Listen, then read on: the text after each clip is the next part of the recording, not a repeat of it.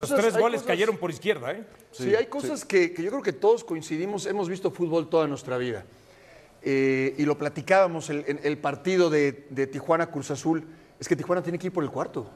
El partido estaba Claro. para que Tijuana fuera por la el ida. cuarto. En la En la ida. ida. Los tenías en no, la no, no, ida. en la ida. Teniendo uno más. No, no, no, no, tenías que ir por el cuarto. Le faltó ambición y Y determinación. la otra, era el típico partido, el que mete gol gana.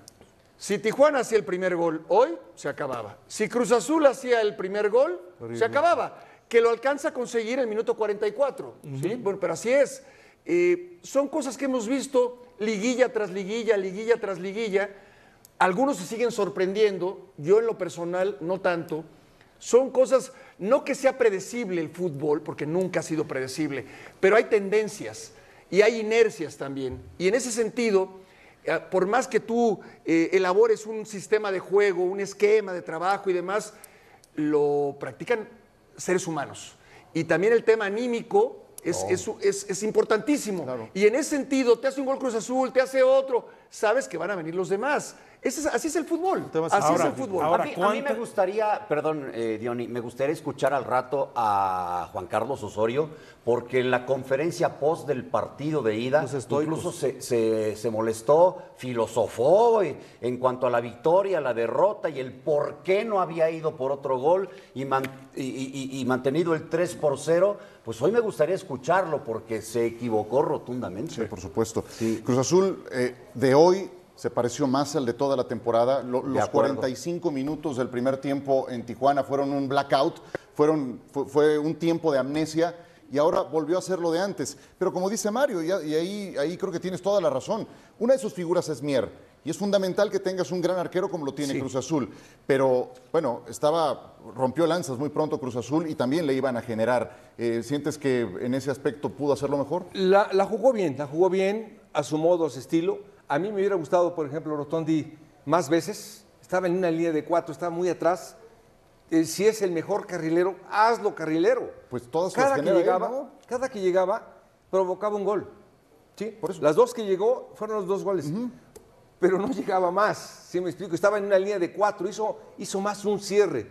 Después el centro, el centro lo veo yo bien endeble, muy endeble. Dos delanteros muy buenos, muy buenos, muy goleadores, pero al final el sistema le salió.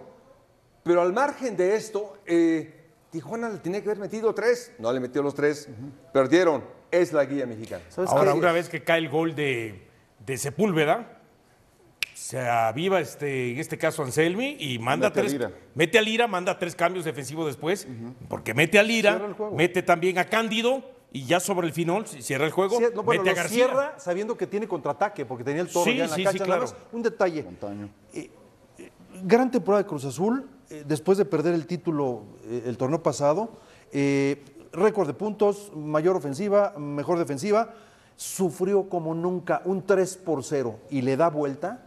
Este golpe mental quizás sea la cerecita en el pastel. Sí. ¿Sí me explicó? O sea, Sí, sí, sí. porque es ya casi tenía todo perdido, todo lo gran, la gran construcción que hice, casi la tenía perdida, le da vuelta y eso puede ser un golpe mentalmente De acuerdo. impresionante para el la liguilla. ¿Una especie de punto de inflexión te refieres? Yo creo Sí. que sí. Yo lo más dijimos, no, perdóname, pues, de- de- discúlpame que repita, pero es que me lo tomaron a mal. Las inercias, las inercias. lo son importantes, son vitales. Las inercias. mal. Es que, no, pero decían, pero entonces, eh, ¿Quién los, decía? ¿Quién los que decía? sí, muchos. Los que decían. Total, me vale ¿Quién gorro. decía? ¿Quién Ah, decía? caray, Di nombre. Di te lo- nombre. Yo te lo reclamé. estuve en esa Las mesa. Yo te lo reclamé. O, va- o te vas para abajo, te vas para arriba. Yo no estuve en esa Cruz mesa. Azul, Cruz Azul. le reclama a todo el mundo. Tú te burlaste de mí, señor Gavillo. Jamás. ¿Ya ves?